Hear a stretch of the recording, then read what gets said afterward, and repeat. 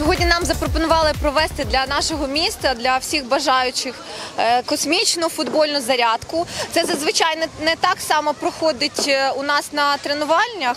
Е, Більш е, професійно, е, ну і більш поглиблено. Але сьогодні ми таки показали декілька елементів з футболу. Дріблінг на степах. Ось у нас з'явилися з'явилися нові до- додаткові дисципліни: аеробіка та стрейчинг, розтяжка для футболістів.